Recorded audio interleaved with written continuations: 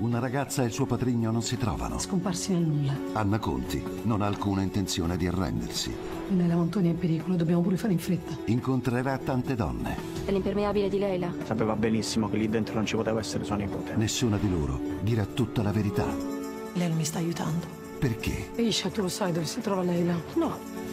Qual è il mistero? Le sue impronte digitali sono dappertutto. La dottoressa è ossessionata dal caso di questa ragazzina in maniera strana. Ci avvolgerà questa storia. E anche noi cercheremo Leila fino all'ultimo istante. Non voglio perderla. La troviamo. In prima visione Sei donne, il mistero di Leila. Questa sera 21.30, Rai 1.